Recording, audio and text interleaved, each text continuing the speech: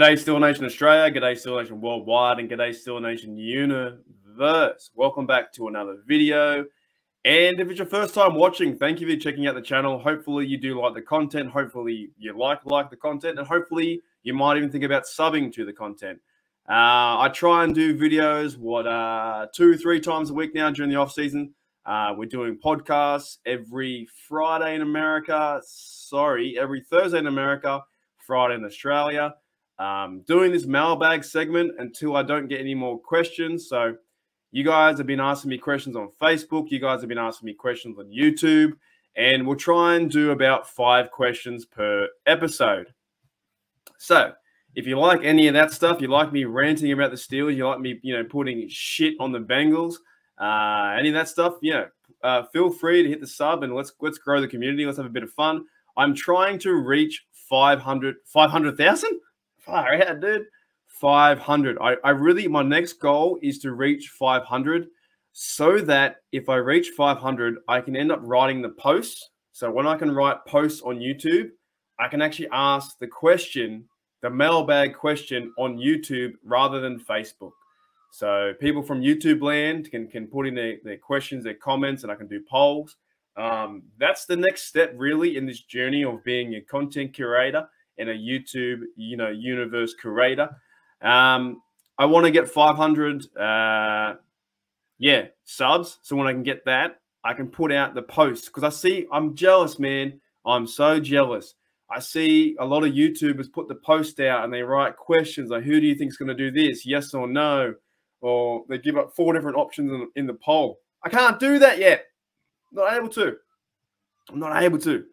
So that sucks. Uh, it would help out my my my content as well. I could easily just ask the question, the mailbag, thoughts about the Steelers this week. Boom, you know, I get back feedback. So get me to 500, and then we'll go from there. Let's try that out. But we're here to talk about the mailbag and my thoughts on these questions. Now, I did receive two questions from the YouTube land and three three questions from Facebook. I think I did. So let's uh, let's check it out. Okay, so my first question was from Travis uh, from YouTube. He says, an out of nowhere but genuinely curious question Is being Rick rolled a thing in Australia or is that mostly an American thing? Uh, I think Rick rolled, man, is, you know, by the way, it's a crazy, outlandish question. You were exactly right. Um, being Rick rolled is a, is a worldwide thing, in my opinion. Um, that's the classic. You know what? Even I think even like Rick rolled now. Do people do people still do that? I'm not even sure if people still do Rick roll, Rick roll. To be honest, there was there was one instance with um, uh, the Pittsburgh Steelers two years ago in 2019. The Los Angeles Chargers tried to Rick roll us, and they started to play Renegade. Once they started playing Renegade, uh, about 15 20 seconds in, the the stadium you know, turn it into never gonna give you up, never gonna let you down, round it. You know, they played that right, and it got all the Steel fans fired up. It got them also fired up because once you begin to play Renegade, there is no going back, mate. I've heard Renegade twice, and there is no going back.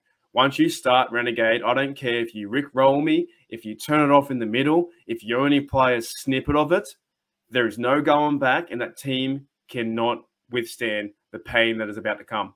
Okay. So it was quite funny that LA tried to do that to the Steelers. It didn't work out. We end up winning the game. Uh, I think that was with Bell. It might have been, was it Bell the last year? I'm pretty sure from memory. Was Bell there in 2019? Let me know in the comments below if Bell was there in 2019. Like, I think he won us the game near the end, right? I'm pretty sure he did. Or I could be making it up.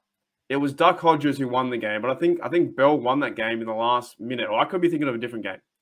Anyways, that's our first question. Let's move on to the next one. Okay, so we have uh, Patricia here from Mexico and from YouTube land as well. She says, "Hey Mark, great idea this mailbag Q and A. Thank you, I appreciate that. Let's just see how it rolls on. I want to try and get at least five questions per week and submit this video. So, so in America." Uh, or that direction. Everyone sees this video on a sun Sunday. Yes, on a Sunday.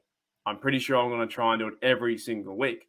Now, Pat, Uh, Pat's question is: For so many years, Big Ben was a leader on on you know Big Ben was a leader on the offense. Now that he's gone, who do you think will step up and take that role, both on the field and in the locker room? Okay, let me start with we'll start with the defense first.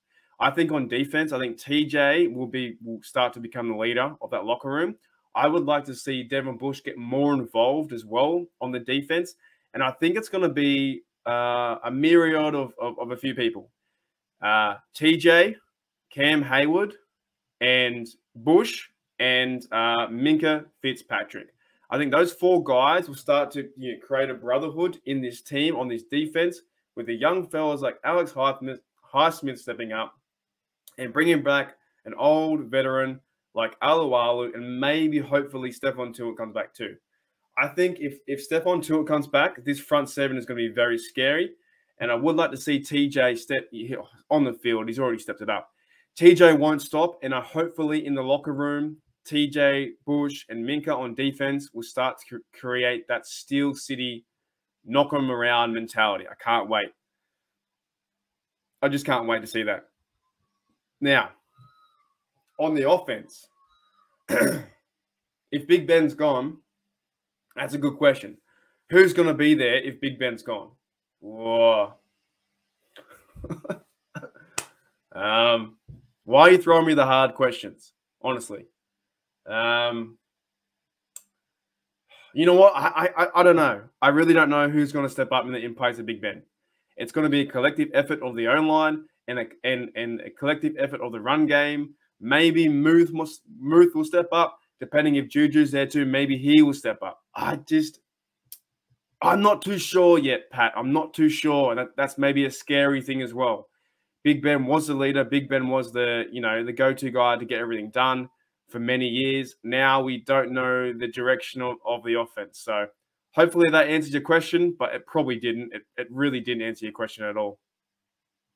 Okay, and our third question now from Robert Richards. Uh, sorry, Robert Richards from uh, Facebook Land says, "When will we get rid of the other running back or running backs? Really, Najee is the only decent one we have." Look, I agree with you. Najee is is a fantastic running back, and we kind of need, we don't have a one two punch. We do not have a one two punch, and I don't understand why. Apparently, Benny Snell football the last few years was meant to be that, you know, um, punch it down down their guts, run it down their throat, get the five yards, get the six yards, go and get a touchdown. But it hasn't happened. It has not happened. Our second running back has not been there for the last, you know, few years. We used to try and use uh, Jaylen Samuels when Connor was there eh, you went okay, right? Nothing is really, you know, uh, eventuated out of this stuff, right? We've had Benny Snell football. We tried we tried Kalen Ballage this year. He might be on the cut this year as well. Um, Anthony McFarland, I think we drafted him in the in the uh, in the third year. I think he was two, two years ago. We drafted him in, in the third, or it might have been last year. I can't remember. But we had McFarland there. He's been injured pretty much the whole time. Uh, you haven't seen him do anything. So right now, Najee is the guy leading the carries at 80%, 85%, but he he needs a break, right? We can't run Najee off his feet because otherwise we're, we're going to waste a great player and we're going to overuse a good running back like Najee. All right, on to the fourth uh, fourth question, and it's from Facebook and our mate Edwin. He says, "Who do you think? Sorry, my bad. What do you think the Steelers' record will be next year in 2022? And do they make the playoffs? what are we? So we're 17 games in the season. I reckon. Okay, look. All right. I'm gonna. I, I think we might go 10, 10 and seven. Okay. I think we go 10 and seven. Reason being, if it's if it's if it's Rudolph, if it's Haskins, if it's whoever, whatever quarterback comes in, I think our running game will get better with the O line and I think our defense deserves to to be have a shot at the playoffs. So I think we probably missed the division. Maybe the Bengals might win the division again. Even the Ravens could win the division. Um, the Steelers have an easier schedule. Like the Steelers are versing this year at home the Raiders, the Patriots, the Saints, the Jets, the Bucks. Right, those last three: the Saints, the Jets, the Bucks. Who, who's their who's their quarterback? Right? Is it Zach Wilson's the one for the Jets? Nobody knows who the, the Bucks QB is going to be. And uh, the Saints quarterback, Um, he's that bloke, the Swiss Army knife guy. The uh, let me look this up. So who the who the who the Blues Wazoo is uh Saint QB? Is it? It's Austin, right? Uh, no, it's oh Taysom Hill. Yeah. So they have Jameis Winston there, but I think he's getting shipped out. Uh, Taysom Hill's the Saints. I think we can beat the Saints really at home. So I think we can maybe go, yeah, 10 and 7. Um, even, our, even our away schedule is versing the Falcons. I think we can beat them. Uh, then we're versing the Bills. They probably are lost there. Carolina Panthers, they're on the downtrend too. Um, we can probably beat them. Colts, we're versing them away. They, they're, they're moving on with Wentz. Wentz could even maybe come here, even though I don't, I don't want Wentz, but Wentz could come here. Uh, we might lose to to Wentz. The Dolphins will be a great matchup too, with now having Brian Flores, the, the ex head coach. That'd be fantastic to get a win there. And the Eagles too, we could lose against the Eagles. So I think roughly maybe about ten and seven, and I think we can make I think we can make the wild card uh, playoffs. Now, anything better than ten and seven would be fantastic, you know. But in, in saying that too, we could also go seven and ten depending how the QB play goes and depending how if we can move this football. If we can't move the football, we can't do anything. If we rush the football the same way we did last year in 2021, there's no chance we're going to the playoffs. Um, there's absolutely no chance. We need to be better than 32nd. We need to be better than 30. We have to be a middle of the pack running game and we have to be more physical on the O line. And I would say at this point, Edwin man, I would say 10 and 7 and wild card. Just just for laughs, wild card. Okay, and our last question for the mailbag segment this week comes from my mate Glenn Bright from uh, Facebook Land. He says, "Now, mate, Glenn, if you are watching this, I don't know if you, if you just write the questions or if you do take time to watch it. I thank you if you do watch it. But why the fuck did you ask me this question? This question is so difficult to answer. So Glenn says, "How do our coaches stack up?" Question mark. Seems to be a lot of experience among them when you look at the roster. So, are our problems with the coaches or are the problems with our cattle on the field? Now, he's had a little bit of an Australianism there, but mate, so you're saying to me right now, you're saying pretty much, is it the coach's fault, the coaches in general that we're losing, or is it the play of the Pittsburgh Steelers players the reason we're losing or the reason we can't win playoff games? This is honestly probably one of the, like, this is the hardest question that I think I've, I've seen in a long time because you, you can look at it multiple ways, right? The coaches go out there, they design, they design the schematic, they design the play, the offensive play, defensive play, special team play, uh, design these these schemes and playbooks to win the game, right? You play to win the game, right? Now, if the players don't live up to that and they can't excel on these certain schemes, philosophies, plays, then you're going to lose, right? That's that's notion 1.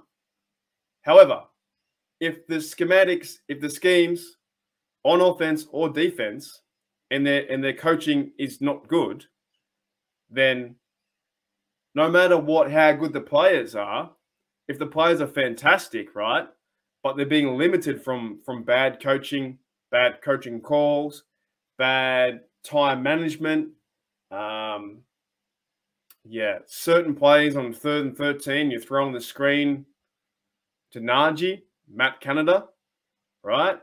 As good as Najee is, a bad play call, what are you meant to do? Right? What are you meant to do as a player? Okay. So this is why this is this is the reason why we love football and the reason why we love the game. Because you do need a good coaching staff. However, you need a good set of players too. So if the coaching staff is four four stars out of five, but your players are one star out of five, you can only do what's what, what is li- what is limited to the player. All right. Without Juju this year, Steelers' offense changed. Um, on the defensive side, there was no Vince Williams. He decided to retire, and Alualu um, ended up getting hurt, and Stephon Tuitt couldn't play because he was hurt and because of the death of his brother and other other numerous things. So without these players, how would the coaching staff what what can they do, right? Now some would say this year was the hardest was the hardest schedule and coach Tomlin did his best to get 9 7 and 1 and that was a success to go to the playoffs. However, at the same time, once you get to the playoffs, you you know, you're eating dirt, you're doing nothing. We lose 42 24. Big Ben can't do anything. So, to answer your question, I like our coaching staff this year. I really do. Bringing in uh, Flores for the linebacker coach, who's an ex head coach, and promoting Teryl, Aust- uh, Teryl Austin to, to start to do something with the team. Uh, Mike Tomlin is a winner. No matter what anyone says, he's, a, he's still a winner. But we need some of these players to to buy in. I think we need some of these players to buy in because no matter how good a coaching you had, you have with the schemes, with the certain play calls you design, you need the players to run them. So it's really the yin and yang. It's the ebb and flow. Um, you know, people are starting to, to rat out Mason Rudolph, right? Because he's a bad quarterback. For that, for some games in 20, uh, was it 2020? No, 2019. And also for his play versus the Lions. Oh, you couldn't beat the Lions. However, coaching wise, the, the coaches put him in the best best position to win, right? Then DJ and Freiermuth fumbled the football. So it's the it's the age old question, isn't it? You know, chicken or the egg kind of kind of like narrative. Is it the coaching that is poor and that's why we are losing? Um, and we can't win that we can't win that playoff game? Or is it the, is it the skill talent and the players the reason why we can't win it? Glenn, man, I don't know. I don't know. You've really got me stumped. Um, I honestly can't. I, I, really, I really. That's a hard question to answer. I like, I like Coach Tomlin. I think we need a better O line, and I think we need a better running game. That's what that's what I would say about that. All right, guys. Hopefully you enjoyed the uh, mailbag segment from Steel Nation Australia. Uh, I got to say that last question, uh, I just I just answered there, number five. Dude, that's pretty hard, man. Coaching or players, I don't know. I really don't know. I just hope this team can start to play some good football and we can start to win playoff games again and go on to win another Super Bowl and be the be the, the first team to win seven. All right. It's a whole new idea with no Big Ben um, bringing in a new quarterback, or that might happen in the draft, or even bringing in Mason Rudolph or starting him and or Haskins. That might happen. We don't know right now. As I'll talk about in the upcoming uh, podcast on my Friday, your American Thursday, uh, in a few days' time. Hopefully, my guest John can join me. It's the title is called "It's Quiet a Little Too Quiet." It's very quiet right now. A lot of speculation about you know, the NFL, what, what are we going to do? Who are we going to get? Who's going to be here? You know, blah, blah, blah, blah, blah. There's, there's a lot going on, right? It's a very funny time because we're getting into the combine next and then free agency and then draft. Um, yeah, there's some, there's some, it's just, it's just weird. It's so weird with that football. Uh, all I want to do is talk football forever. And it's, um, yeah, it's very strange. So, but hopefully you guys enjoyed uh, the mailbag segment. Please leave um, comments in the YouTube description, or not, no, no, in the YouTube comments. Leave questions. I want questions for next week. Um, I will take about five. I'll do about five questions, and that will be the ongoing theme every single week. If I can't get many in YouTube, I'll try and ask my Steeler Nation Australia group and Facebook page. They have some really good questions like Glenn did before. Um, yeah, if you guys enjoy the content or if you want to see more videos, hit that like, hit the share, hit the share button, share me around all around the world. Um, and sub too. I, I, really look. I don't. I don't normally ask for subs, but I'm at the point where I do want to get to 500 because I want to write those posts. And then once I get to 500, the next goal is to be 1K and, and try and try and uh, you know, make something out of this as best as, as best I can. I'm starting to research into some more ideas too, um, as I'm talking about more about the Steelers and stuff like that. but I want to get to 500 so that I can write posts on YouTube. That would be just the next milestone, would be the funnest thing. All right. So, yeah, thanks for checking out Steel Nation Australia in the mailbag segment. Uh, I need to come up with a cool name too. I haven't got a cool name. Mailbag. Uh, man. I need a cool name. I need a cool name for the mailbag segment. I haven't got any idea what to call it yet. So right now it's Steel Nation Australia mailbag 1.2. I don't know. I don't know. All right, as always, uh, here we go, Steelers. Here we go.